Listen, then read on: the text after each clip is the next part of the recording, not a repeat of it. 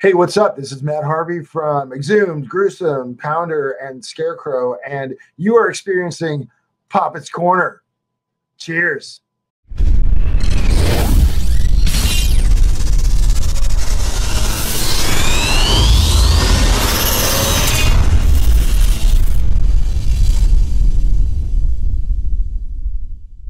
What's going on, everyone? Welcome to another episode of Poppitt's Corner. Looking forward to doing these as always, and I'm going up a little bit north, northern for me, I should say. And we're gonna uh, go up to the, uh, I guess, I would say what, or uh, Oregon, see, you know, Washington kind of area, and uh, I'm to talk to uh, the main songwriter, main man of uh, of Sleepless, and of course, Dead Conspiracy, Mr. Eric Dorsett. Eric, how you doing, man? Thanks again for coming on the show and hanging. I appreciate it, and I appreciate a moment of your time. I'm doing killer, man. This is awesome. It's an honor. Appreciate you. So pretty much the the basis of the show is, is I'm going to go through your entire musical career and just learn a little bit about yourself and tell some killer stories and whatnot. so if you're if you're ready, I'd love to get started. I'll do my best. Let's do it. so right off the bat, let me ask you this: What can give me the general your general recollection of just hearing music for the first time, and what was the band that did it for you?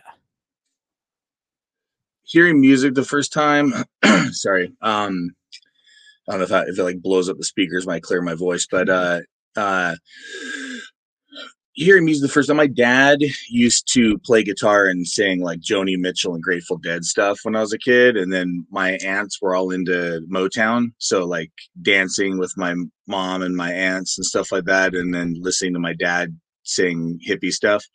Um, putting on headphones the first time and like listening was um Beatles, Let It Be.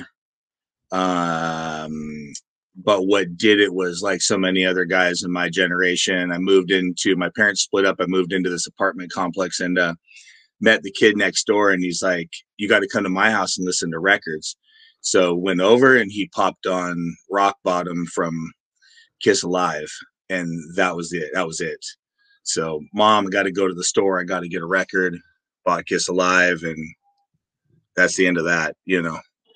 And generally, were your parents uh, supportive of your choice of music around this time? Uh, yeah. I mean, they didn't. They didn't care. My well, my parents were broke broken up, but they didn't. Um, my mom. I mean, I still joke about it now. We went out to karaoke, and for I know, someone's birthday, my mom was there, and I was doing. I was singing Rocket Ride, and uh, something I was like, "Hey, this mom and my mom bought me this album, you guys, uh, when I was nine, was eight. You know, put my hand, put your hand in my pocket, grab onto my rocket, and my mom's like, "Oh my god, I'm a horrible parent." I'm like, "No, you raised me right." You know what I mean? I didn't know what the hell I was singing about. Singing to the girls out the window when you're nine. I mean, you know, it was Ace Frehley. He was going to go in a rocket ship. You know, Fucking so. Yeah, I think they were kind of hands off. put it that way so that's kind of cool. So they had their kind of generation, and they were supportive of of you developing this next generation, which was again the '70s and and and whatnot. And what were some of the other records that you were getting into, and, and how were you getting into the other, I guess, heavier styles of music? Was it just by going over to your neighbors and him showing you the record, so you would get a copy of it at the store the next day, or? Yeah, I mean, well, I mean, heavy is relative. Like my mom was into like Mothers of Invention and the Fugs and stuff like that. So I think she considered herself pretty underground herself. And so, you know, for it wasn't shocking, you know, the so that you know, but you know, my babysitter was listening to uh Alice Cooper, so I'm like, oh, I need to check out Alice Cooper, and then you know, it just, I mean, I was I'm 53, so you know, you heard, heard like uh Foreigner 4 when I was like riding big wheels down the hill. I remember hearing the Foreigner 4 album and going, Oh, I like that, you know, and it's just whatever. But Kiss was it for me. I just had to have every Kiss record, and that's all I really cared about until until I joined the Columbia Records and Tapes Club or whatever and got like, you know, Billy Idol and the police and you know, um what else did I get now? Fastway. I get Fastway in that. Like I mean, you know, yeah, stuff like that. It just it just kind of segued. I mean, just kind of naturally. It was it's a weird progression because early before I started playing any music, my buddies and I, like a lot of people, you know, were like, yeah, we're going to be rock stars. And um, I always loved the story because I my friend told me like he's like uh, I'm gonna get my drum kit, you know, but first we got to get uh, cocaine addictions and uh, we got to start drinking a lot. And I was like, what? Why? And he's like, dude, it's just part of being a rock star. Like you got to be, you got to have, you got to, you got to have problems. You got to be able to deal with them. It's just part of the life. It's going to help you write better songs. Meanwhile, he's like, you know, I wish we had someone to help us out. My, uh, my cousin's in a band, but he, there's a shitty band out of California, a shitty punk band, and they're not going to do anything. So they're not going to be any help. And he showed me the record, the Welcome to Venice album. Oh, His cousin was Mike Muir. And um, so he never reached out to him. I was like, he couldn't have been further off. You know what I mean? So that was like how oblivious we were. And we're just little kids, you know, and just listening to whatever, whatever, you know. And what about Kiss always I always hear the same kind of stories. It's either like the Beatles or Kiss or or uh, just any of these the traditional style bands that people just get into. But what was it about Kiss around the 70s and I'm going to say early 80s because Fastway was like I think the early 80s. So yeah, and generally mm-hmm. in that time period, what about Kiss did it for music fans and especially a, a, a, kid such as yourself? I mean, it's the it's the makeup and the the gimmickry. I mean, you know, you got the record and you opened it up and there's you know full color full you know pull outs you can look at all the pictures of Gene spitting blood and you know but i mean a song like rock bottom it's just always I mean, it just had that energy live, you know, just it just made you feel like you want to play music. Like uh, you know, you want you want to go, you know, boom, hear that bass, you know, going. You want you want to hear the crowd screaming. Like that that just got me excited. I I don't uh you know, all those other bands, you know, came around just it was just part of the growing up, you know, but Kiss was at the time anyway for me was just so pivotal. And and um and i never really sat down like started learning kiss songs when i started playing. I played black diamond in my first band but but uh other than that i mean you know and even like you mentioned the beatles like the, my, my earliest memory with listening to with cans on like i got now was the was the beatles but they never really did it for me. I like the rolling stones a lot more. My aunt was a heroin addict and played the stones all the time and i like that uh, a lot more. I, I just always liked the more the darker side the heavier side and you know whatever that was at the time you know it's it's interesting and, and and going off of obviously getting all these influences and whatnot did you start to see more kids around getting into the same style of band? So you would go to the concerts with them or did your parents drop you off at, at going to the shows? Because again you're like nine or ten at this point so i don't know how no. many concerts you saw around you know that specific time period. none. We we didn't go to shows. I mean my parents like said we're split up. We were poor and so we didn't i mean we lived in a shack over the top of a you know like on cinder blocks we had an outhouse. Um so i was lucky that i had kiss records and i mean my my you know i had relatives who would take me out and buy me a record you know. Um my first concert was the police ghost in the machine tour. Uh so it was like 81 and then my second show was iron maiden saxon fastway in 83 i was in eighth eighth grade i guess then and was the, when was the time when you decided not just to listen to music, but to actually want to play music and play an instrument? And what was the instrument that you chose? I chose bass right away because of Gene Simmons. And then when I was 14, I used to go to a local, well, club here in Portland called Roseland Theater. It used to be called Starry Night back then when I was 14. And I watched all the local bands, which had guys in it like Steve Hanford, who ended up like in Poison Idea, legendary drummer. You know, Deen Castronovo was uh, in the band Wild Dogs. So you know, I'd I'd watch their bass player go off, and I was like, "Ah, look at that killer strap on his bass." You know, I'm gonna be like that. You know, and uh, and I went, you know, and I decided to get my first bass. So I put one on layaway and um, mowed yards to make the weekly payments on it till it was paid off had no case, had no strap, had no, I had a cord, I guess, and they must have thrown in, you know, plugged in my friend's stereo. We wrote our first song, Trapped in Chains, that day. And that, you know, that was that. I was like, I wanted to play music since, you know, just sitting in the room, air guitaring Motley Crue, you know, Too Fast for Love and all that stuff, you know, Iron Maiden, you know, Piece of Mind and all that. And you didn't have kiss. to Right, right, and of course, and, and but you didn't have to do like a requirement for school as far as picking an instrument beforehand or any of that kind of stuff. mm No, you know, it, it, was always like everybody wanted to be in the. Everyone wanted to play drums, and you had to be super cool, which I wasn't. So I never got picked for snare. So it was like, well, you can play violin or you can fuck off. you know. So um, I picked up an acoustic guitar in fifth grade, and it was huge. And you're learning green sleeves, and I'm like, this sucks. uh, and so you know, I dropped that.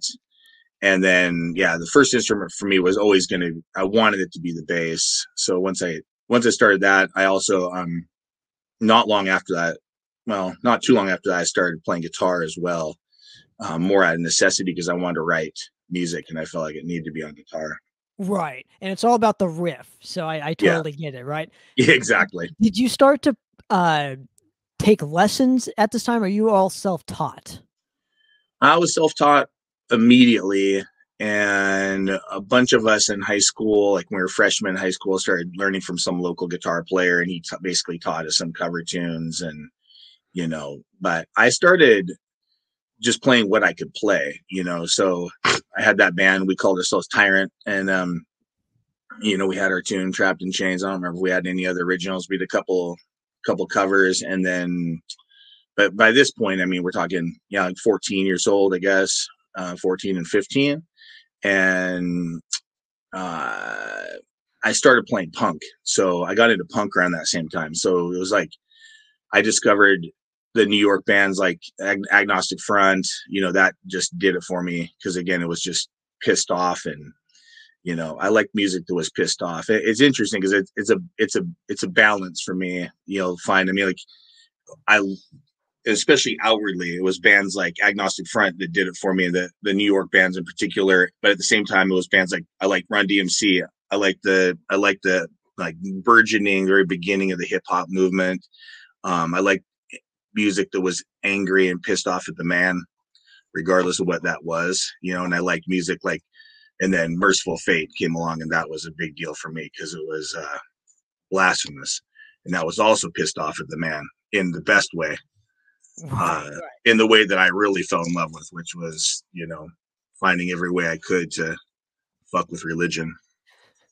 Um, now you let's go back to this aspect. You said you were playing, I guess, a more punk style. What can you give me just a, I guess, your recollection of what was happening around your area at this particular time? Playing in in Tyrant, I think was you said it was your first band, but what yeah. were some of the styles that were happening around uh, your specific area? well, we had Portland then was really divided between um, um, punks and metalheads, right? And you had the Wavos, so it was the 80s, 83, 84, 85, and you had a neo-Nazi movement in Portland, Western Hammerskins, Eastside White Pride, stuff like that. So you kind of, um, I was on the metal side, so like the guys in Wehrmacht went to, you know, school across town for me, and we're all trying to find our way, like how we're going to play in these bands and be at the same parties and stuff, but also not having to fight skinheads every day or whatever. And it was crazy. And then you had the, you know, the Wavos. My girlfriend was was a new waver, which I was secretly loved Duran Duran and stuff like that as well, which I still do. Um, you know, I find the best stuff to listen to before I go in the studio is like Seal or Duran Duran, clear my mind of anything metal, and then go in there with a fresh perspective. Um, but yeah, that's so I kind of feed off that. But yeah, at the time that was what was going on, and for me, I just I kind of had blinders, I guess. And when I looked in retrospect, it's like I just didn't give a shit. I mean, I walked around with a Run DMC shirt on, I had cowboy boots with spurs and a leather jacket and long hair with Bruce Dickinson bangs and a mustachio, and you know, I I just did whatever I wanted to do. I was six four and two hundred something pounds. If people didn't like what I had to say, I'd throw them across the table and it'd be the end of it. Like it was just I just did what I wanted to do, you know, and I and I I've never really cared. And um, to my detriment sometimes because even at that time, um, guys like Kevin Hahn, who's in Sleepless, you know, was an upperclassman, and those guys were all learning to play, like really play. And I was like, fuck that. I want to gut like Shan Mortimer from Wehrmacht. He's got killer beer gut, man. And when he wears this bass underneath it, you know, his fucking shirt off and he's badass. That's what I wanted. And they were like, oh no, Phrygian mode, you know. And I'm, and I just I was like, fuck you guys. And they're like, Slayer can't even play. They don't play in key. They don't use any. I was like, listen to them. It sounds badass. Who cares? You know? And uh, I think I was right in the long run because music isn't about modes and scales anyway. And music theory is only a way to write down music that was already written. So whatever you write is what you wrote and it's all music. Does not matter. So they all they're all eating their words now, and they realize the greatness of bands like Slayer, but or they've given up on music. All those guys. But anyway, well, music I can go down the rabbit hole. Right. Well, music should almost be a feeling. I I think it's a, it's almost an emotion. It's almost like an, a part a part of of you as a player. You know, so Mhm. whatever you're writing is a is a part is only a part of of you. uh, Maybe uh, individually speaking too. You know what I mean? Hundred percent. So, um, can you walk me through your first your first recollections of playing live in front of people for the first time? And I'm I'm assuming you were super nervous and, and just walk me through that whole that first memory of just getting you know p- placing your feet on the stage for that first time. Well, other than playing like little parties like in our friends' houses, uh, my first time on stage was at what really is legendary club uh, Satyricon here in Portland, where like Kurt and Courtney met and that kind of shit. Um, uh, I was then playing a punk band called Protest, and uh, that's the first time I like wrote some music, uh, and that was my first time on stage. So I was like 16, I think, and Eric DeTablin, who's still my bestie and drummer, um, was playing drums. He was 14 on his little CB700 kit. The other guys in the band were in their 20s. So we had Barry Brousseau, who's a great songwriter to this day, big ass mohawk, and the club owner. I remember was like, "What the fuck are you bringing these guys like in the band?" And Eric is Filipino, so at 14 he looked eight, and so he's like, "Do not let them drink." That was the biggest thing. So where he said, "Okay, I got it." So we didn't, but we played with a band called False Liberty and another band called Jim Jones and the Kool Aid Kids, and um, fantastic uh, punk bands. And um, False Liberty from Seattle, they're really good. Um, that was that. I mean, that was our first time on stage, and got a few pictures of that. and want to release that protest demo at some point. It was it was pretty cool punk, old school punk, and um, but yeah, that was. I mean, that was it. You know, once you're on stage, it's that's the vibe. that's what you want. You know, and, and after that, it was like we're punk, so we, we were playing a lot of parties and and that kind of thing. And when was the first moment when you actually went into the recording studio? And I'm assuming this was probably you probably all did it at the same time. It wasn't like everybody had to play to a click. It was just kind of put uh What I was, don't know. what was a click in '87? Yeah. you know, 86. Um, protest recorded in my mom's basement. So on a Fostex four track or something like that. So I have that demo. I actually had lost it forever. Got it off a Russian, like, pirating site, um, a torrent site. And, uh, uh, Dead Conspiracy, the 87 demo, like, the, I guess what some people call legendary, whatever, like one of those early, you know, that, that was our first time. That was my first time recording and um, it was raw as fuck. and it was a heavier kind of style of music. So if we're going, if we're doing Dead Conspiracy already, um, I mean, how did Dead Conspiracy actually actually form? Well, I mean, yeah, there wasn't much else going on for me in those other times. I mean, it was I was playing in bands that, that kind of wanted to start doing like Wasp and Ratt and stuff like that, and I covers, and I wasn't interested, and I wanted to write original music. And at that point, you know, in the mid '80s, I guess I was getting into like Exodus and and things like that were kind of above my pay grade musically, so I wanted to find more people that could play, and it just wasn't really working out, and um, was pretty frustrated. And uh, I mean, it's crazy story, but Eric, my drummer, um, was again he was like 14 at the time, maybe he's 15 by this point. 14, I guess. He got grounded because he got a D in school, so his parents took his drum set away. So we quit protest together. Um, meanwhile, the couple of the guys who founded Dead Conspiracy as a punk band, uh, the original logo had an iron cross in the middle instead of you know like the pentagram and stuff like that. And um, Mark and Chris had started as a punk band, and they ended up playing in that band Protest. The band changed its name to Crud or something like that. Dread, Dread, and um, and they ended up quitting because they decided they wanted to play metal, which I guess was going to end up weren't calling it death metal. One, we want to play metal, and I got a call from Mark Murphy, the singer, one day, and he just said, "Hey, Jamie and Barry from Protest said."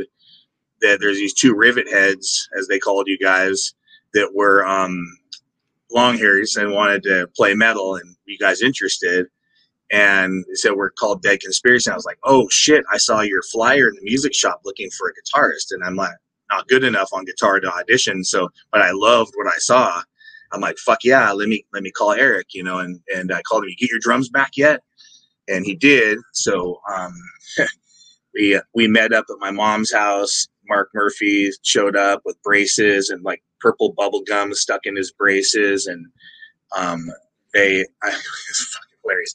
And um, we went downstairs, and Chris Carey showed us the riffs to the Immortal Strife, our first song, and Eric started playing the drums. I mean, dude, we walk, we learned so much together. I mean, Eric, Eric and I remember we sitting down, like figuring out like double time or like skank beats or whatever before they whatever they called. It was just like you know, okay, I think it's two on the hi hat and then the snare and then you know do that, do that, do that, do you know. And he had to figure all. We, we had to literally figure what this shit was. You know, there was we had no clue. There was nobody else doing anything like that around us. So um, that day, though, I mean, wrote that song and I just I, I'll never forget it. And I'll never forget Chris being across from me and his little cheap like Ward's knockoff guitar and that I, I don't remember what it was. He'll probably get pissed at me. It was probably something better than that. It was not. It was and um and Mark starts singing and you know that wow and I did that little guy man did this horrifying lows and these creepy killer highs and I just goosebumps. I was like, fuck, this is my life. This is it you know, and um, we went in a little. We, I mean, wrote the five song demo in not long, uh, and I wrote two of the songs I think on that Grotesque Disjunction and Dormancy um, out of the five songs on there, and then uh, the rest was Chris and our guitarist at the time, Jason Nikes, um, and we went in a little studio called Chicken Coop. I think some of the guys, I don't think Wehrmacht ever recorded there, but some of the guys that were associated with, their like side bands did is a guy in the guy's basement. It was like an eight track. It was eight track. Um, and, so and, yeah, go ahead.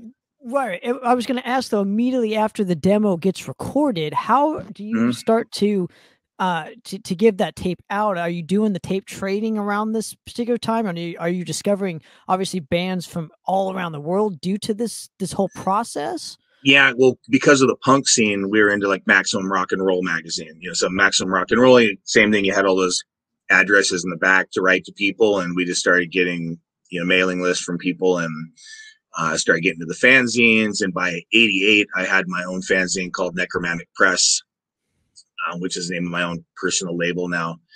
And we did just a couple issues, but it was pretty cool. I mean, we interviewed lots of great people and met lots of great people, traded tapes. And it's a trip. I mean, it was just, it was a very interesting period of time. You know, I, you're writing to people in the back of magazines and, you know, one day, like I remember, like a tape showed up from Trey Azagthoth, and you know, and Mark was at his mom's house, and he pulls it out, and he's, I see that that cover, you know, for the Altars of Madness was that it was called Thy Kingdom Come, right? The what was the EP, the the the cassette? A bomb, uh, not not Abomination. That that's the album. Yeah, I think it's like Kingdom Come. I think uh-huh. what it is. And we put that in the tape deck, and I sure enough, and I went, "Fuck, we need to start practicing." Like it was, I was like, "Ah, we're in trouble." You know, like it was just, it was crazy, man. You just like none of these bands, we didn't, nobody heard heard each other. We're just sending tapes back and forth. The bands like Sepultura got like lots of shit because people say they weren't getting their tape from their ripoff artists. You know, you go. I've been to Brazil because of Brazilian Jiu Jitsu. I've been there many times. I those tape that money never made it to the band i'm sure. Like you know that money got taken to the post office and you know they would say oh, we never got paid for the tapes and that's why we never shipped them out. And it was a whole thing. Like in the you know you're the underground it's very interesting how that worked. But you met so many cool bands great bands like necrovore i remember was always one of my favorites. And and uh, that were became inspirational. It's it's weird because you you look now and you I, I read reviews of the bands and I feel really old because I you know it's like oh Dead Conspiracy, you can see how they're really influenced by bands like Sarcophago and I'm like fuck I did not hear them until I pulled them up on YouTube like not long ago. Like I we had we how were we supposed to hear those bands? You know we heard the same stuff. You know we heard I I don't know possessed you know, I saw Slayer and Possessed in '85, and Possessed to me was like the shit. So, sure, yeah. and yeah. and it's Sarcophago. I mean, you know, the obviously the first record comes out in '87 too, so it's kind of yeah. highly. I don't know. I I wouldn't. I, I wouldn't say you were influenced by by them just because they came out the same year at a time when you didn't have the internet, so you, everything wasn't instantaneous as as it is now. The devil inspired us both at the same time. um, so obviously you record the first demo, it circulates. What kind of a buzz does it start to get in '87? Not nowadays, but I'm talking in yeah. when it initially gets released. It was a really great time to start a metal band in Portland in the 80s. There has never been another place in time where you know how it is now bands playing for bands six bands on the bill everybody with their girlfriend or boyfriend in the audience you know and five of them go up on stage and the other 50 watch. Um back then if there was a flyer if there was a concert flyer you went to the show. If you looked at like the logo you know how i'm talking about. You walked into a record store i'd walk into second avenue records and Todd behind the counter is playing the first Bathory record, and you're like, you know, what the fuck is that? It's he goes, God, it's scary, man. It's look at this fucking goat. And I was like, that's too much for me. And I bought the artillery album and like uh uh MC Hammer's first EP when he had like just black outfit and a gold chain. It was shitty, but but that's what I got because it was the new stuff and I couldn't handle whatever Bathory was doing at the moment. And then I caught on. Um but but yeah, so we sold demos at like Second Avenue Records was the spot in Portland. So we would I'm I never forget I was sitting out in front of Second Avenue. I was 17, river with my big gulp, and Todd from Second Avenue came out. He's like, "Hey, are you in Dead Conspiracy?" I'm yeah. He goes, "Dude, we sold out of your demo, like 50 copies, cassettes." In 87, we sold out. Can you bring us more? I'm like, you know, oh yeah, and, uh, guys, guys, you know, you couldn't call them on your cell phone. So it'd be like, I can't wait till band practice so I can tell everybody we sold out of cassettes and we got to go place an order to get more cassettes made. And, you know, it was like sold out, sold out, sold out, sold out, you know, um, and we just printed them, uh, fold them up and put them together and sold them. And, and, but you would, our first show was, uh, we put on and it was at a place called the 99 Musicians Union Hall. Um, we brought the guys in Sadus up from Antioch because um, we had interviewed them for our fanzine, and we were big fans of the Death to Posers demo. Uh, and they came up and they were a fucking trip. That's a whole. If you got another thirty minutes, that's a, that, those guys are a trip, man. They were, but but they were cool. It was it was cool. And it was a good show. Um, and it was packed. You know, like, I don't know, 150 people or something like that for this little teeny place. And our next show, I think, was a headlining show at the Starry Night where I used to where I saw Metallica. Like there was like 550 people there. We had the you know the the the, the owner came where I was like, "Fuck, we need to set up security. Like there's a line around the corner," and we're like, "What?" You know, and we just asked, "Hey, can we headline?" Yeah, sure, go ahead. You know, it was so it was just such a weird place and time, and and the fact that people would just come out like I went to every show I saw a cool flyer for. You know, everything and it was based off a demo. It wasn't like it was a full length record. This is just a, yeah. a demo we're talking about. You know? It was a demo and word of mouth. Like you know, you went to the same parties, and you know, people were like, you know, people wanted to go. You know, people wanted to go. They were hungry for this type of music. I mean, there was there was no death metal bands in town, so there was it was us and uh, my girlfriend at the time. In, uh, met me, introduced. She lived out in the middle of the country, and she introduced me to these guys in the band called Savior um, who went on to like uh, Jeff from that's guitarist for Poison Idea, and he's a he's a big punk guy, Beer Zone and Chartbusters, and he's a, he's an amazing guitarist. Uh, but anyway, I went out to their house and watched them play, and they were doing like Slayer and Kreator covers, and they played proficiently, like amazing, and their originals were awesome too. So they played with us on that first show, and then they just started taking off too. It's like if you did if you did that music in any way, shape, or form, you just you know people wanted to go and and uh, so it was pretty much the same lineup of bands on so many shows with like one added in like poison idea headline one or gargoyle would headline or something like that or i think gargoyle ended up opening for us but um you know and then we got on whatever shows we wanted i mean it did it didn't matter like dead conspiracy like you know dark angel came it was like we're gonna we're gonna open for dark angel no problem you know that. uh Combat Records tour, you know, Death dropped off right before, which was a bummer. I remember Gene talking about the argument about their drum riser, who got to use it, and all that kind of thing. So they dropped off. We were really pissed. We ended up playing with Death later. That was Death, Carcass, Pestilence, Dead Conspiracy, and some other band. you know, not a Okay. shitty show. So that was like that must have been like 89, 89 Mhm. or, or 90, somewhere around there. Yeah. Um but why not just try or I'm not even gonna ask you because it's I for, keep forgetting it's not the internet age, but you Mhm. know it- you could you didn't make a full length during this whole time period so my my question then becomes did you guys start to uh you know send out your tapes to labels at all or is it just strictly just Send them to you- everybody. okay They hated it. I mean, all they hated it. They just said it's too like Metal Blade. All those labels were just like, yeah, it's too intense. It's not what we're signing right now. And then as our music started to change and we started to bring in other influences and we weren't death metal anymore, they were signing death metal bands. So um, what we were doing at the time was very different. We really should have just made a side band and just kept Dead Conspiracy doing what we were doing and, and made another band to do kind of bringing our eclectic feel. But that, I mean, we got courted by Atlantic. Um, and uh but they wanted us to tour with the horn section and we were like we don't we just used them on a couple songs. You know what i mean? Like it was they wanted a shtick.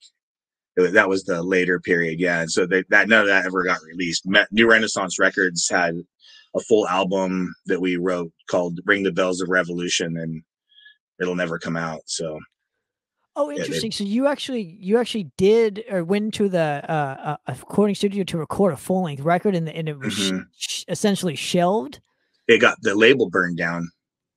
So Ann Boleyn's apartment or whatever from New Renaissance burned down. And so like artwork was gone, the album was gone. I've got like DAT tapes and I've had people ask about releasing it, but we're not really interested. I mean, if we did, we'd call it the Dead Cons or something like that. I wouldn't call it Dead Conspiracy. And just because it's not the same band, it wasn't the same band at all. It was, we were just trying to do something else.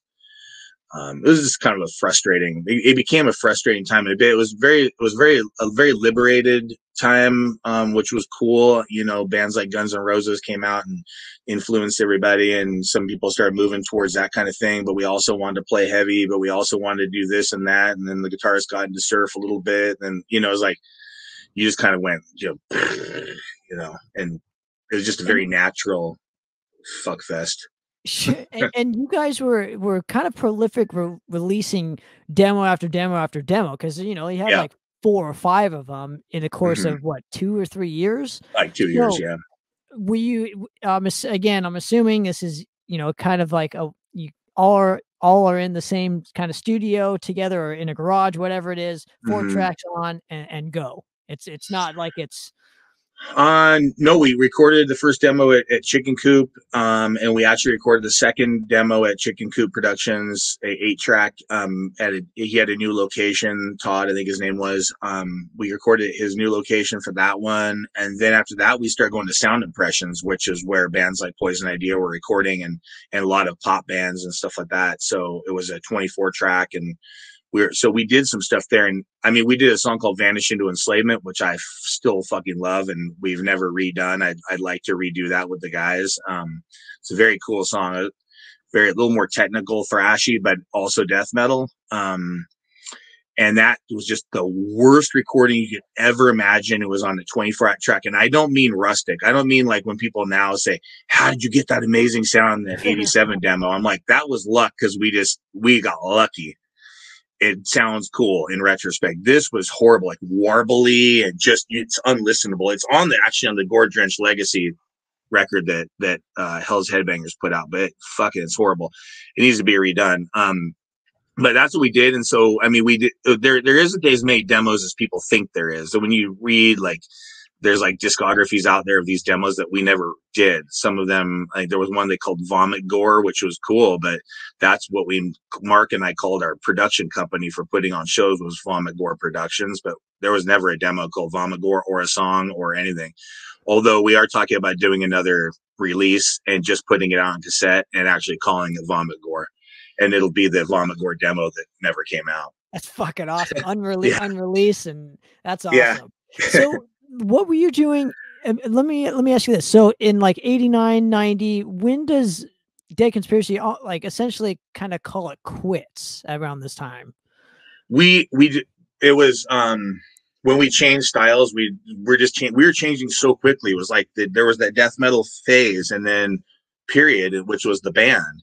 And then we started bringing in other like eclectic ideas and things to the music and Um, we got really into like the socio-political scene. You know, we were we were like featured on you know the feminist radio shows and stuff for our lyrics um, about misogyny and like we were just getting we were getting pretty um pretty politically active, I guess, in a way, even though we weren't really political people. Like we are just kind of, I don't know, we are just trying to do the right thing, I guess, you know. Um, and and the music just started changing. Um, but it got us notoriety in some ways. Like, you know, we played at this huge event called the Mayor's Ball, which is at the Memorial Coliseum, and and we put out flyers that said, What happens when Sly Stone meets Slayer? and it had pictures of Slayer and Sly Stone doing the karate kick or whatever, and the fucking place was packed. And Atlantic Records was there, and that's when they started talking to us. But again, like I was on the phone at Portland State University talking to them, and they're like, "We're playing the song years, and we love what we're hearing. You know, you got horns on here. We want you to come to LA and bring your horn section." I'm like, "We don't have one," and I and I got all like the Clash, you know, did stuff like that, but they didn't, you know, they didn't have a horn section. They just used horns on a couple songs, or you know, the fucking Stones. Like, well, we weren't either of those bands. We are a bunch of, you know, nineteen year old dipshits. And um, if we wanted to cash in, that would have been the way to do it. But we were just like, this isn't us. We're just doing what we do. And then it just imploded from there. It was like we needed to change. And our singer came out uh, gay, and and it was um, and I think for him he just wanted to separate himself in a lot of ways, you know, from from where he had been, which was kind of um, you know, I'm gonna grow my hair out over my face and no one will ever fucking see me, you know. And I was always like, what is that about, you know? Um, not that it even meant anything, but looking back, that's I always tell him I, I figured, you know, what's going on. But uh but he got in like Elvis Costello and things like that. He just wanted to do something different, you know. I want to fucking smoke cigars and wear a zoot suit. And um, you know, and and I and I was listening to like Parliament Funkadelic and you know stuff like that. I'm like, this just was it just fizzled, you know, just like a bad relationship. It just went from pure love to to fizzle. It had, in in retrospect, I always think like if Chris, like our our main guitars, if Chris at any time had said like um like guys you know what let's hold this together let's take our love for death metal for what we were doing and let's just keep doing that but let's also do experiment and have the freedom and flexibility to do whatever we want. But back then like to us a band practiced six days a week we practiced at a place called the palace where all the local bands practice and we practiced every day i went to portland state university after class we walked down 12th street to the palace and we fucking practiced every day. And that's why we just came out with so much music so quick. And, but we also met lots of people going to school, you know, like you percussionists and all these different type of instruments. Oh, he's a cool guy, man. Let's bring him in on a song, you know, and, and it just was a natural change up to where it was just wasn't the same anymore. But I wished we would have just kept doing that and then did something else, but it just wasn't really done back then, you know? What uh, did you do in the in the the nineties musically speaking? Not a lot. I did like uh, bass overdubs for hip hop bands. Um, I played in uh, like a R and B type cover band. Um, I wrote metal on my own, but I couldn't find anybody to play with because I mean I, am trying to figure out what the years were. I, I lose track of the years but like I'd meet people and then they're like, yeah, this fucking band called Korn just came out and this stuff is the best thing ever. And I was like, it's pretty cool. It's kind of game changing, but I have no interest in playing it. You know, and then they, you know, then the next guys would be whatever was cool at the moment. Oh, you listen to these guys. It's, I'm like, I'm not interested. And in my heart of hearts, what I really wanted was that Conspiracy back. I just wanted that back, you know, so, and there was, go ahead. Well, why did it take you so long to, to get it back together? Um, I think, well, I mean, I'm not trying to speak for him, but Chris to me has always been the linchpin for the band. Our guitarist Chris, and um, and he's the one that's held the style together, held the music. That's why I say if he would have mentioned something earlier, but there, he's had he's had addiction issues, and so I he would, I mean sure be, be the first to tell you that that's the case. I mean so we fought all the time, that kind of thing, but just it was a matter of um, we just didn't talk for a long time. And um, I mean, I'd hear from people like, um, you know, have you seen Chris recently? Like, no, like we should probably reach out and try to find him because he probably won't be alive long. And this was guys in the punk scene, you know, like he's not going to be around long. and he got sober. He'd been playing, he'd been sober for, I don't know, five years or something like that. And he showed up. I was, uh, at this point, I actually, I, um, let's see, I switched to guitar and I formed a band called Death Saw. Um, I didn't make the name, but, uh, but it was a thrash band and uh, kind of death thrash, blackened death thrash, where we call it at the time. And uh, that was with Brian Cheney, who sang on the the, the first Dead Conspiracy album, album yeah, back. Correct. Yeah, and uh, and some other really good musicians. We went through like every local Portland punk hero you know, uh, Brian Hopper, uh, Matt Braynard, like uh, Dirty Dan Crenshaw, like all these great guitar punk guitar players played with us to do like kind of their crossover thing. It was fun. And Chris showed up at a at a show at Satyricon and was watching from the audience the whole time. And afterwards, he's like, "Dude, your guitar playing sounds great." And I was like, Hey, Chris. You know, hugs. Great to see you." And then he called me like I don't know months later and was like, "Hey, I think it's time to to do something. Let's get together and have coffee."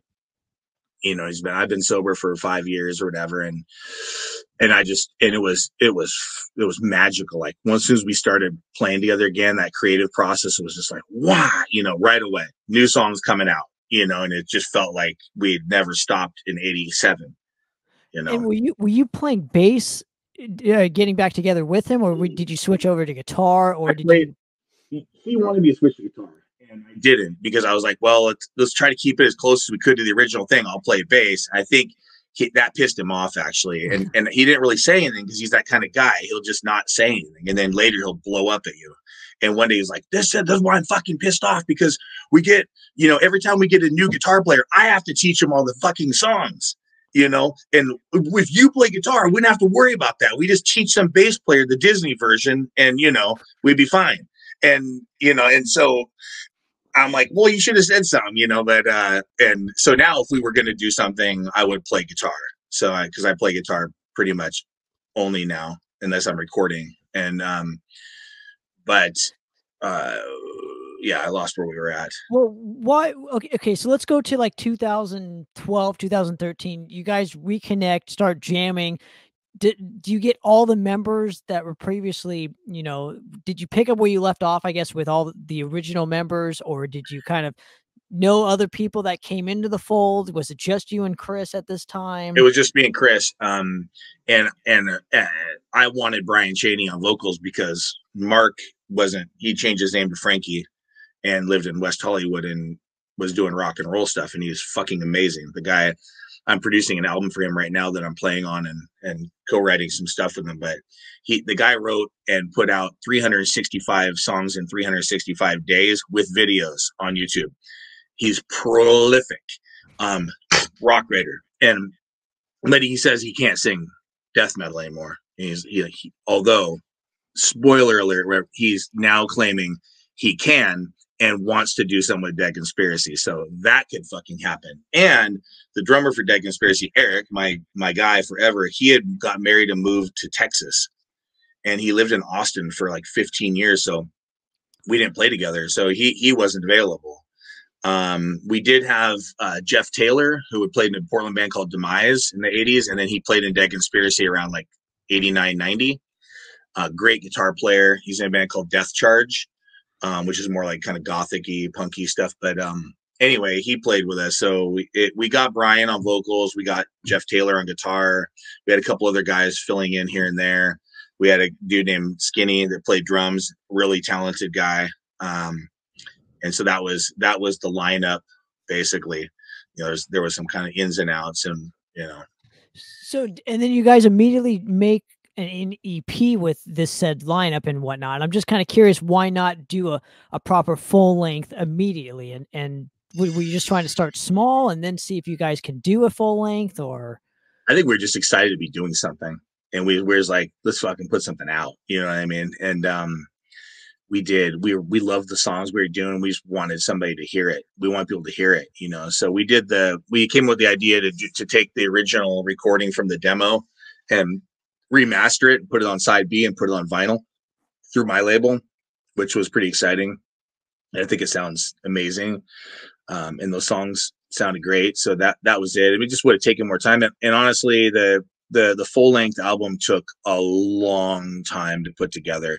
and it ended up being two different drummers. There was a big falling out with Skinny, um, and he was playing in Dead Conspiracy and Poison Idea at the time, and he got kicked out of both bands on the same day.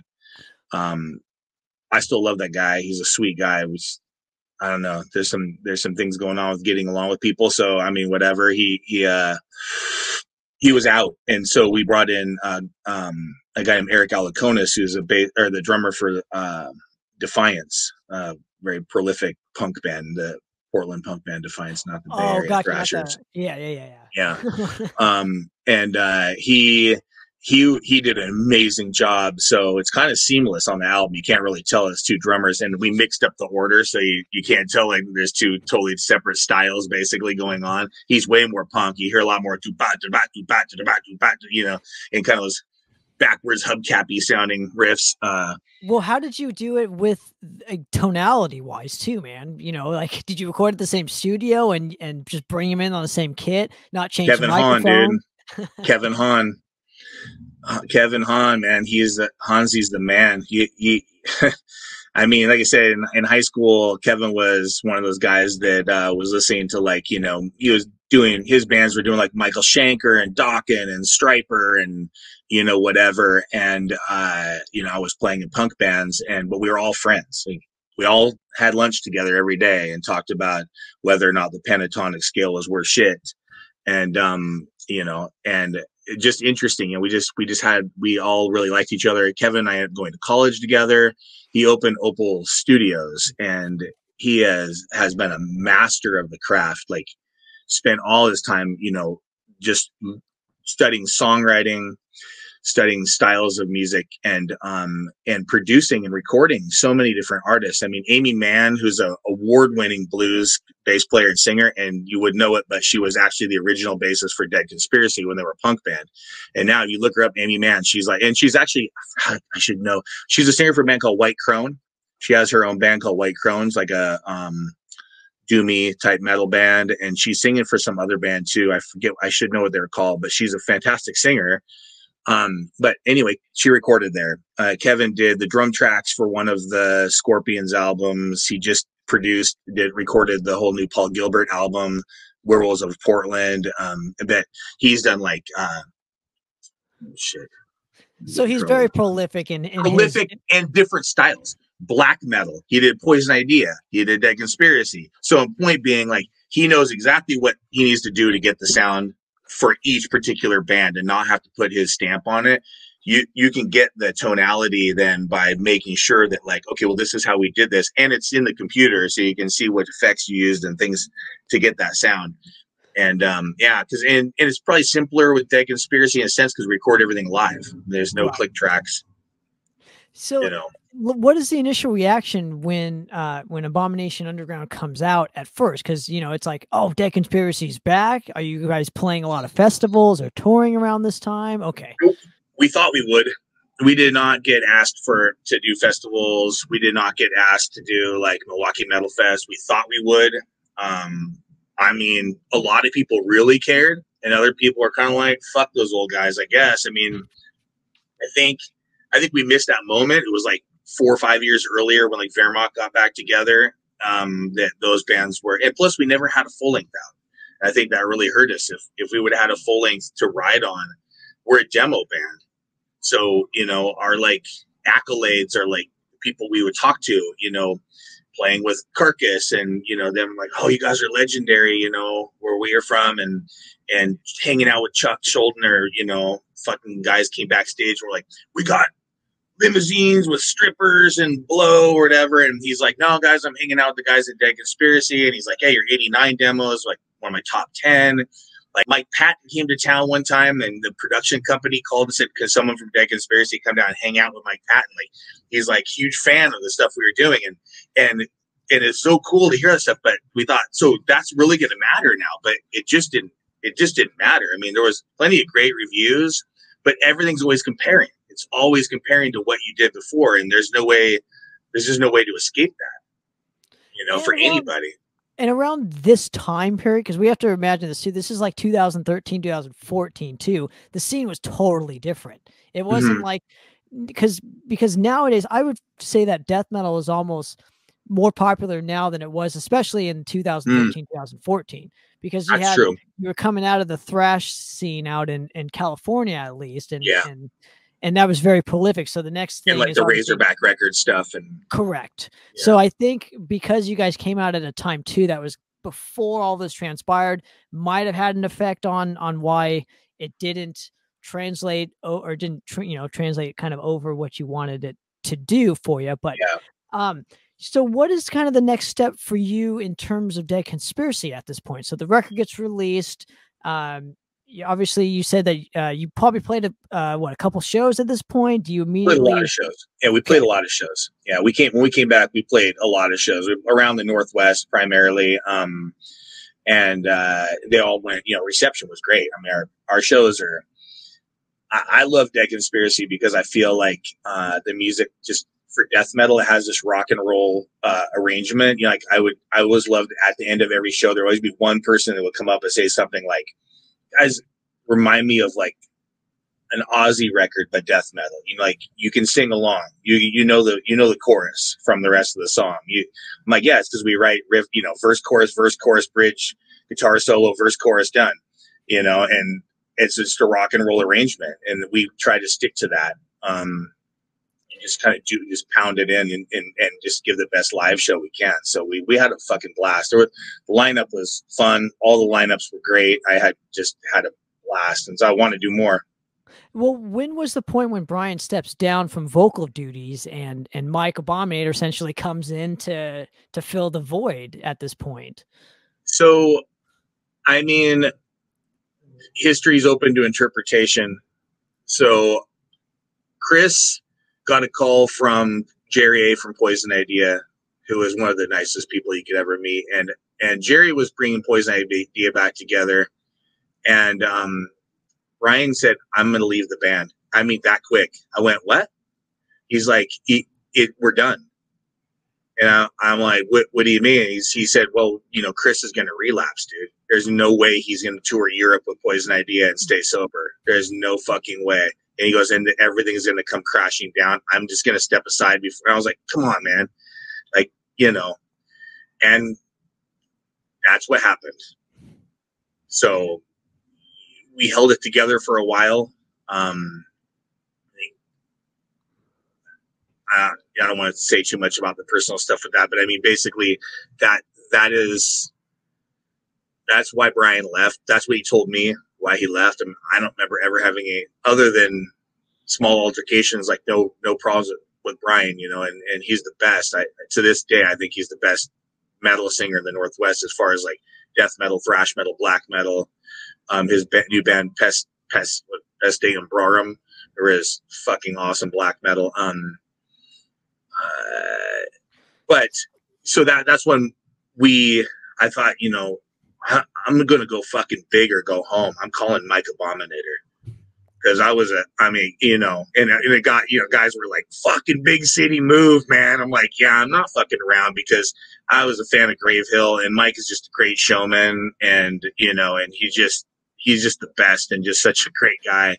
And he said, "Oh my God, yeah, fucking I can't wait, you know, like I'm gonna do this, you know. And uh, he's like, I'm already writing songs, I'm already writing lyrics, I'm already, get, you know. And he didn't, he did not mess around. I think we had the whole album recorded and no singer, and he he came in and you know he did. I, I want to say it was like less than six months, four months, three months, I mean, before he came in, and started he went and started doing vocals, and but he did them all remotely and then sent them to us.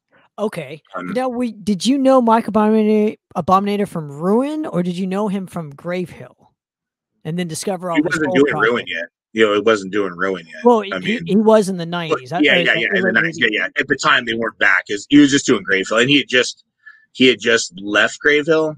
Whatever happened there, um, Sure, because they so- wanted to bring back Ruin at that point, Yes. or Gasp or whatnot. So was- yeah, yes, that's what was happening.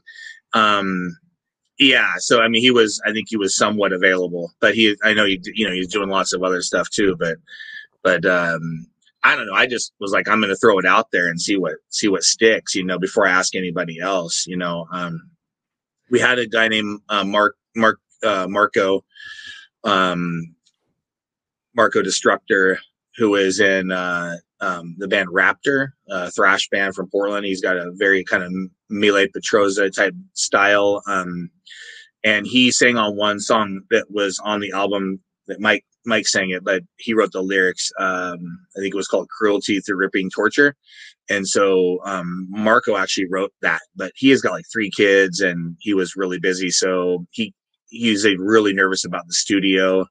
Um, it took him a long time to get the tracking done for the one song, and you know, Mike is like, I think he had like nine vocal takes that he sent us. There's like all these different layers from in the toilet to up high here, and and we literally went through and and we edited it and just said we want a low part here, we want a high part here, we want two three parts here, and we just we actually constructed the vocal part from all the million takes he sent us.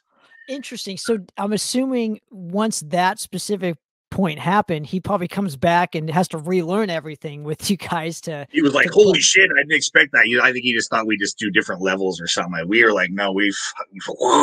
there was just so much going on. Like it's gonna be, it's gonna be the Mike show. Like there was nothing else happening. Um, and but I mean, he just did such a great job, and and uh, yeah, so he had to learn the stuff. But I mean, we only got to do one show. You know, we did we did a festival date, and um, you know, I think we were we headlined headlined the second stage or whatever, and we did one show with him and um, with Eric Alaconis on drums, and it's a huge shame. Like it's you know is a huge shame. It was a very sad sad point for me. Well, in terms of of musically wise, uh, this album to me is super heavy in terms of of your specific career and whatnot. I mean, this was the point, obviously, that I discovered Dead Conspiracy. Oh, cool. Because, because obviously I'm friends with Mike and whatnot. I yeah. wanted to see what he was doing, and I'm like, oh shit. And then he tells me that Dead Conspiracy are big fans of, of Madrost. And I'm like, what the fuck? Like, this is such a small yep. world here. Uh-huh. And uh, I just love the record so much. But the the cover itself is only like it's it's very simplistic. And I'm mm-hmm. just curious your concept for the the album cover this time around compared to Abomination Underground.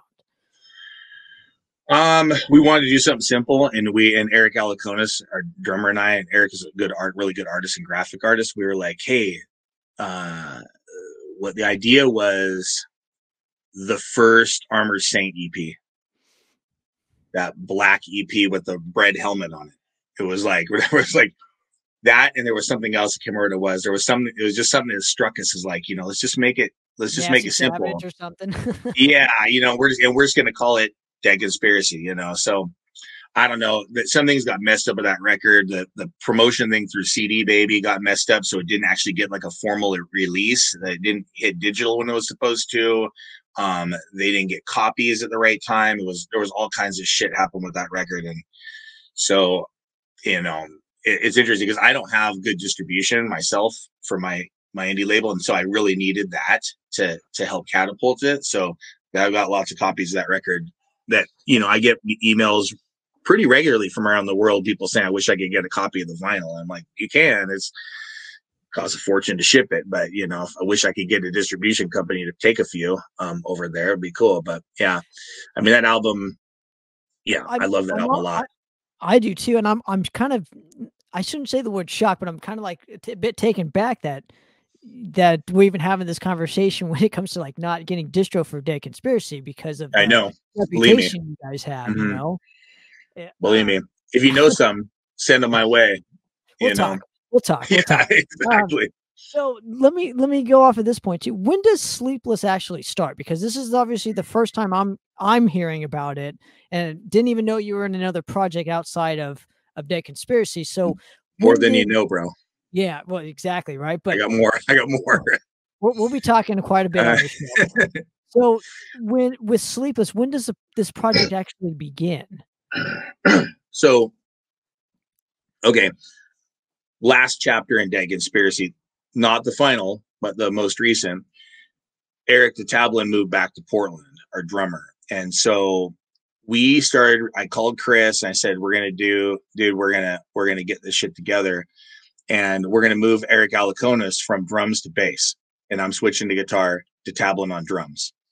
This will be the closest to the original lineup as we've ever had. So, and uh, so Eric though had been playing by himself for 15 years, and he he had kind of he had lost his ability to really play with a band very well, like because he just played by himself, and so he's practicing five million beats a second double bass parts, you know, and it was sounded cool, but it didn't sound cool with a band, like you know, where was the groove, and it took us a while, but we worked really hard, and he worked very hard, and we finally had our first rehearsal with Chris at the end of like three months and he showed up and it didn't go well. And it didn't go well. There was arguing and it was it wasn't great. And even eric eric's the most mild mannered guy you'd ever imagine he actually got pissed like stood up from his kit and was like dude we're working really hard. And you know like you kind of come in with an attitude and it just wasn't great. I said oh practice is over for today. And i called mike up and said and he had to cancel plane tickets for uh, a short tour we were going to do. And he had helped organize. So that would have been a huge help for that album too.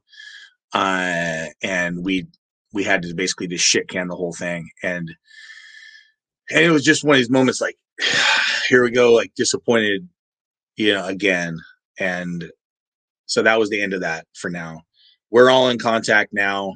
Chris and I are supposed to have coffee here soon. Um, our original singer is talking about doing some stuff, and maybe it'll be shared. Maybe it'll be him and Mike Abominator. Maybe it'll be him, Mike Abominator, and Brian Cheney, and we'll. I mean, we'll do something like this. You know, who knows? With with the sky's the limit, I guess. You know, I, I kind of want to do this vomit gore thing. You know, I want to do a cassette and just like kind of go out like we came in, do like one more thing. You know, and and um, so I've started writing some stuff for that already.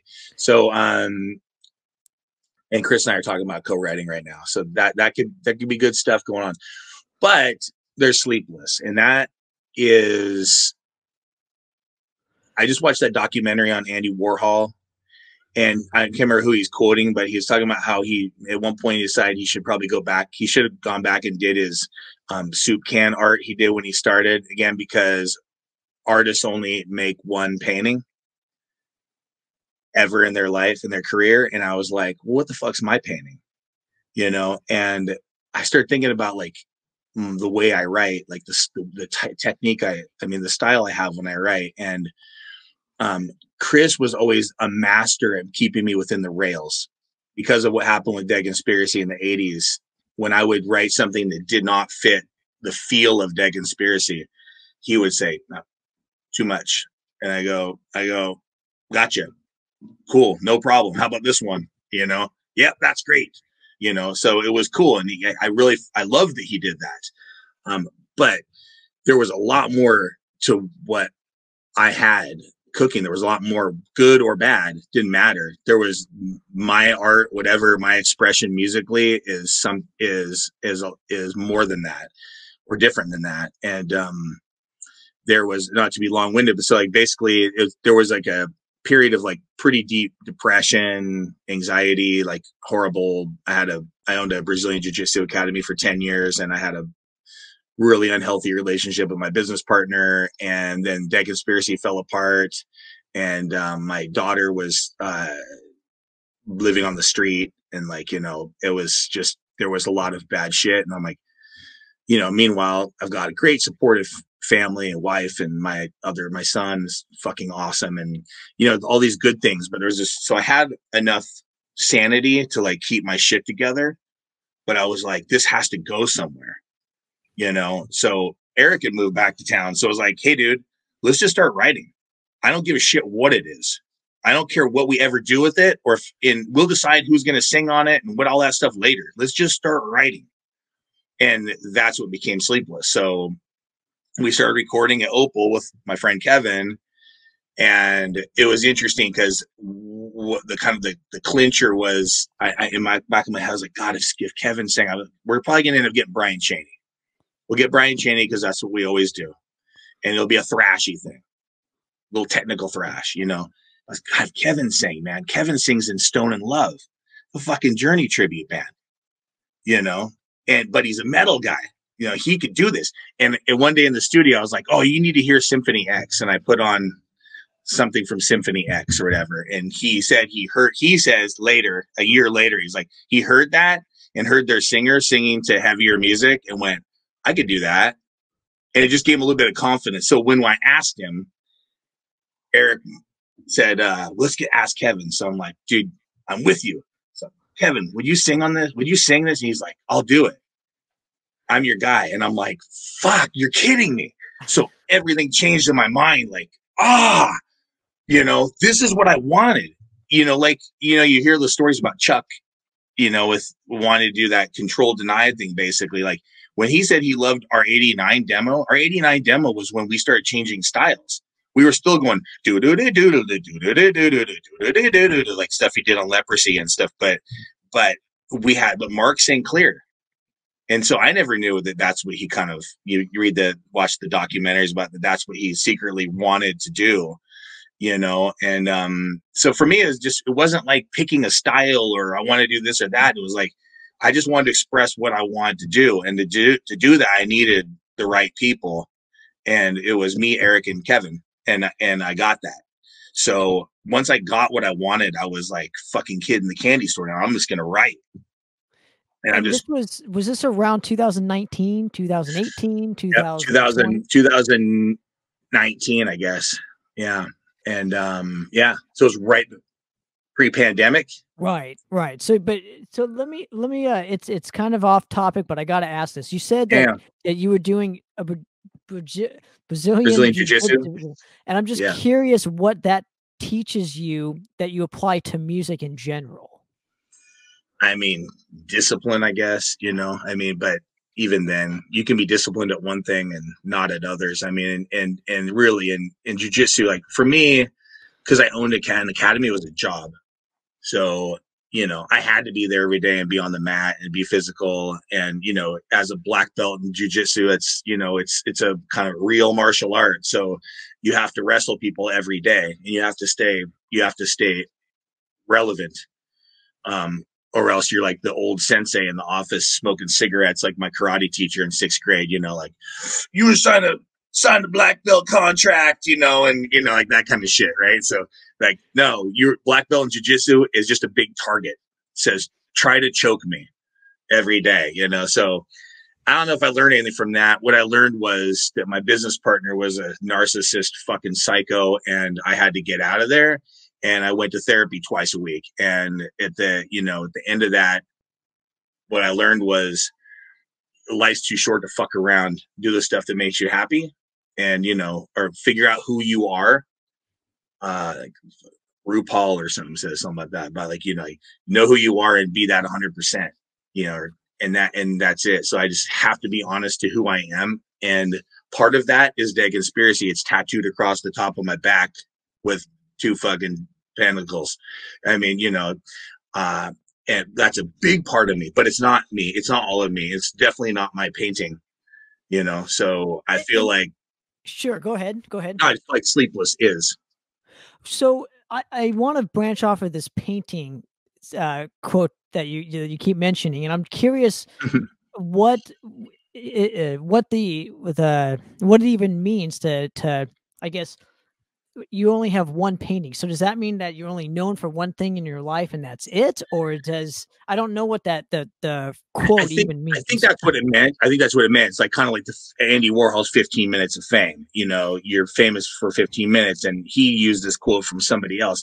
I don't believe that is is accurate. I think he probably struggled with anxiety of his own and thought, you know, well, people aren't liking what I'm doing right now, so I probably should have I probably should have kept doing soup cans um, you know, but but for me, it just it I tried to just sit back and go, hmm, what do I take from that? And I and I think like the other day we were working. I've tracked four songs on guitar, by the way, for the next Sleepless album already. Um, and so we were. I was asking Kevin, hey, let's do some co-writing on this song. And he did this kind of Randy Rhoads, like this boom, boom, like two notes. And then he goes, I got this and it feels right, but now do that thing you do.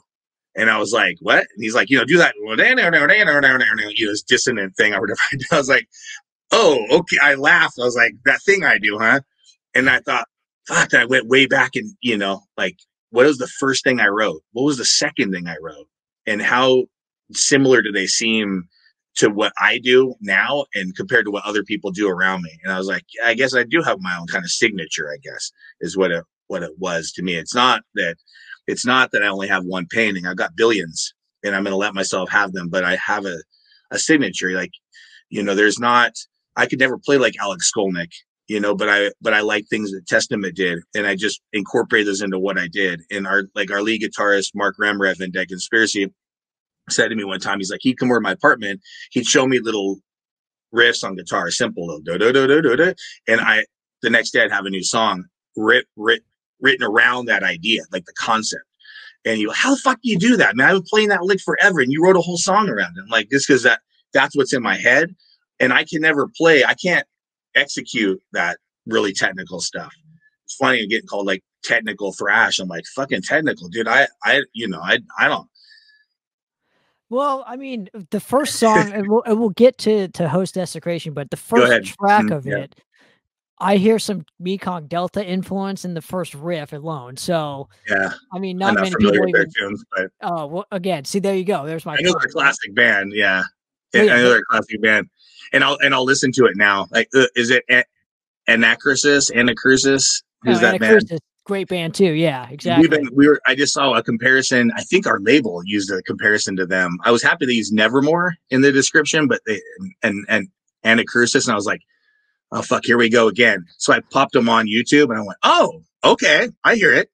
I was like, cool. I mean, I'm not gonna say we're not gonna sound like other people. I'm like, I'm just happy to find more cool bands. I mean, well, I, I didn't know these guys who they were.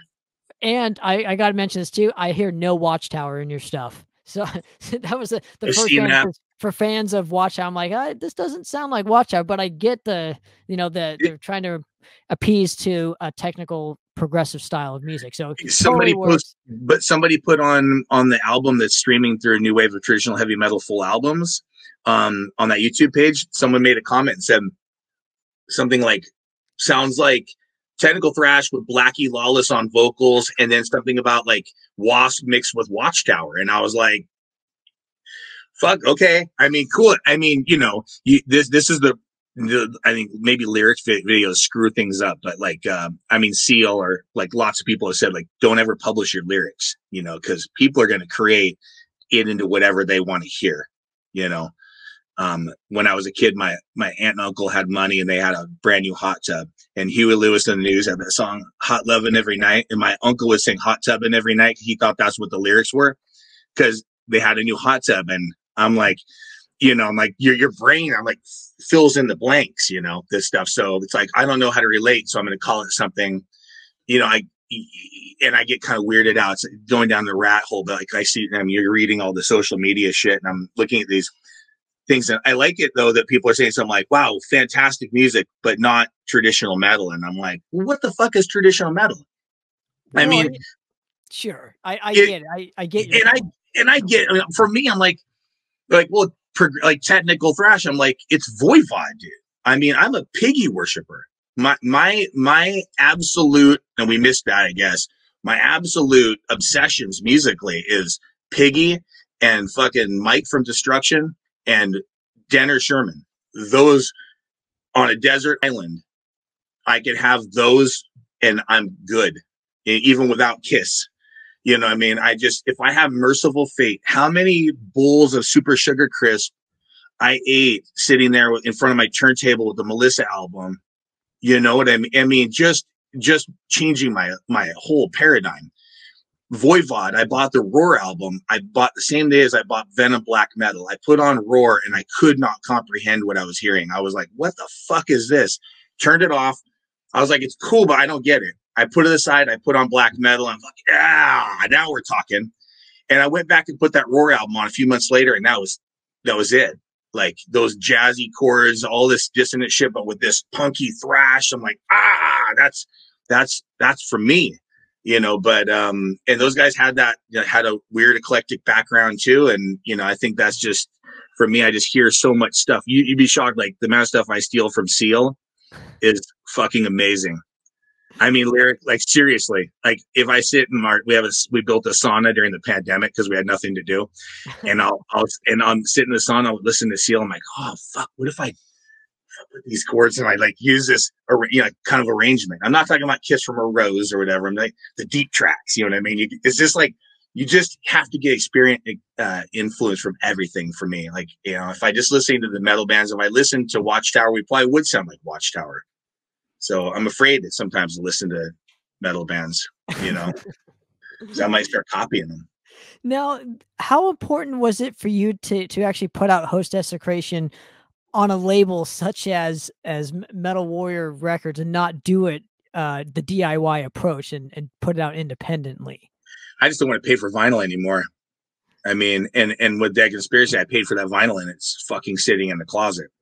Um, and new wave of traditional heavy metal full albums, YouTube channel, um, uh, Clawhammer Productions, our PR guys, um, if they could stream the EP, and they did, and it was like a week later, I got a message from Mario from Metal Warrior saying, "Hey, can we release this? And would you be willing to extend it to a full album?" Um, so I went to the guys and I was like, "Hey, these guys are saying they'll do vinyl, multiple colors, they'll do CDs, patches and or buttons and stickers and all that kind of stuff. And I mean, it's a small label, but they're passionate. They love metal and they want to do it. I'm like, yeah, I could chop this to Metal Blade or see if I could get, you know, uh, Hell's Headbangers to listen to me. I, I, I don't know if I think I, I, I just feel tainted with Dead Conspiracy for that with some of those labels or something. I don't know. I, I, I have weird feelings about that. Um, sure but like I would love to I would love to work with Hell's Headbangers for sure. I'd love to work with bands labels like Metal Blade who still take unsolicited material. Um but they offered to do this um and they were passionate about it and I'm like fuck it let's do it. And and so we just set right to work. We had to write five more songs. It was like I just had to get get after it. And do you still own your masters with this specific label yeah, they have the right to um, produce it for five years. Okay, okay, so they, it's a okay. I gotcha. So you the rights revert back to you after a certain amount of time. Yeah, gotcha. they have they have the rights to put it out for five years, but um, you know, and they had agreed they didn't want me to release it in the U.S. on ne- on Necromantic Press, which I still think would have been a good idea because of shipping. That if I did all the Bandcamp through Necromantic Press and I did like thousand copies or something here, five hundred even, that would have been helped a lot of fans to be able to get the record. So at this point, I'll get the one the copies they send me, and I'll ship those out through Bandcamp. Um, but anyway, yeah, I mean, just not having to pay to put that out and having a little bit of distribution through uh, somebody else doing the work other than me, I, would really like to work on writing and not have to work on the business end that much. Well, there are other aspects to obviously making a record, and th- I want to touch upon this aspect, and I'm going to bring it up here you know, with the album cover in question, you know, what, mm-hmm. what is this? Hmm. What is host desecration? I, the the whole concept. What does it mean to you personally? Well, the whole album itself. No, just the the overall concept of the artwork and and how it translates. That's TJ Barber. Matt, TJ is my guy, man. He did he did both those Dead Conspiracy album covers. Um, he did all the art for my jiu-jitsu academy. He's a, a, professional graphic artist back east, and he's um, he's a big metal guy, big metal freak, and um, he gets me. You know, uh, he gets this kind of this like this dark imagery when you look through this picture you know he came up with the, the, idea basically. I mean we talked about the mood like kind of this depression anxiety. I mean you got you know the rope around this neck back here and this woman's hair is going off and there's there's so much the devil's unmasking you know this person with a fucking tree behind their head. I mean whatever. I mean it's like there's just when you look around it's like god there's so many little subtleties. And i just wanted something that was um that was cool and kind of emotive in some in some way to kind of show like that's what sleepless is. It was like the first song I wrote was The Man Who Could Not Sleep, right? Which I took from a title from a 1950s pre-code horror comic. There's a story when the guy's like laid out with his eyes pried open and you know, and these people are carrying his body and me is alive, but he can't he can't sleep. You know, it's the man who couldn't sleep. And I'm like, that's me. I mean, I stay I'm up till three in the fucking morning every night because of anxiety and depression and just, you know, and so I I wrote around that. And um, my first degree is in in history. I went back to school for microbiology and virology, but um, now I deal comics full time. So, uh, but my first degree is in history, and I've I've always been super deeply fascinated with religious history. Um, I fucking hate religion, and um, I I try to find ways to jab at it in ways that are at, least somewhat thoughtful. Like I love Mercyful Fate's approach, you know, but it's not my approach. Um, host desecration is, if you're not familiar, is just simply the act of um, eating communal wafers without being a Christian. If you, it, what do they call it, trans transmog transmogrification. Uh, when when you eat the wafers and drink the wine, they converts the blood and flesh of Jesus. So if you're not a Christian and you do the such acts, then you're actually inflicting bodily damage upon the body of Christ, which is a punishable by death act. Um, there was one, and I can't remember where it happened in Europe, of course, but uh, there were 3,000 people executed for the act of host desecration at one time. Um, these kind of things don't get talked about in your Sunday school, you know. Uh, so, not that anyone's ever going to pay attention or ever read the lyrics, even because I don't kid myself that they will, but necessarily, maybe one or two people will dig that. From it's just for myself. This it's my way of like I'm going to write a book, but in short form, you know. Um, blood libel, you know, the the draining of blood from Christians to give Jews power and uh, you know rub on their on their wombs, uh, smear the blood from the what from what is it? Smear the blood from the. Uh, shit, I can't remember now. You're you're asking the wrong guy, man. I, hey, no, so, no, sorry, it's my lyrics. It was my lyrics. I should know my lyrics, but anyway. I mean, but the idea is that you know they're taking blood from Christian women, rubbing it on their on their stomachs to give have healthy birth. So but all these things can be are in old art. You know, there's you there's art where they show like you know Christian and the Jews are below them with the knives and they're jabbing them in the stomach to drain blood out of them, and you know these kind of things I think lent into like the the vampire mythos. You know, so I called this song "Blood Libel" a vampire story, va- vampire tale. So it's kind of masked in this vampire story, but it's a, another song about Christianity. Um, so, yeah, so that's where that's really to me like most of what the album is. Well, let's see, so this album cover to me personally is almost like German expressionism. It almost mm-hmm. reminds me of like like Dr. Caligari or or something like like that, you know, in like awesome. the, you know the what the the silent era movie films and and you know stuff that was like kind of very controversial at a time when it was like film was brand spanking new. And so I don't know, I just this reminds me of like German expressionism. Just I love that you said that. In, in a, in kind of nails it. It kind of nails it. Yeah, you made it way more simple than my my description. but but I, I just I, I really dig the album cover and and dig the the whole vibe of it. You know, vocals to me, I'm I'm gonna probably shoot myself in the foot for this, but so be it.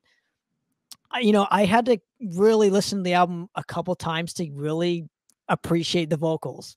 Yeah. you know, because the riffs at first I was like, these are fucking slamming. I love the riffs, I love the production, and then the vocals kind of come in, and it kind of it's like I had to. I was a bit taken back by it, but I, the more I kept mm-hmm. listening, it's one of those albums that it's just you have to just keep listening to get the vocals. Essentially, it's mm, not like it's not just like a uh, one of these albums where you know you can listen to it once and then get the whole picture there's a yeah. lot of layers to it so i do appreciate the vocalist's approach in this one um, now i want to thank you so much again eric for coming on the show and, and talking with me and hanging for for a few i really do appreciate a moment of your time yeah.